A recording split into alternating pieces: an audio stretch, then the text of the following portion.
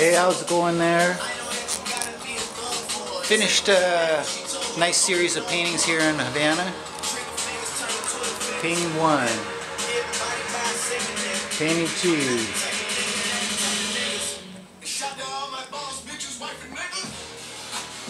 This is painting number three or model number three. This is number four.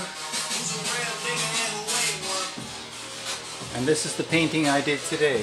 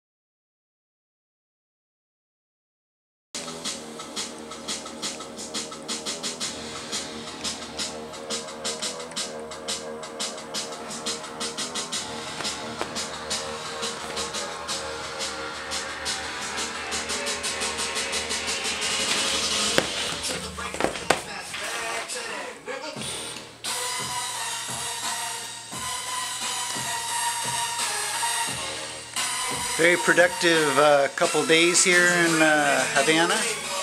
Managed to finish uh, five paintings in a two-week trip. Very nice paintings, very intense, very raw. As is Havana, as is Cuba. Off to Canada tomorrow, so uh, I'll be updating you with some some video once I get back to Canada.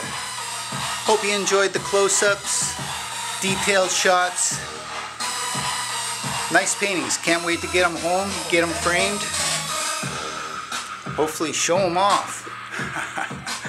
Hasta luego.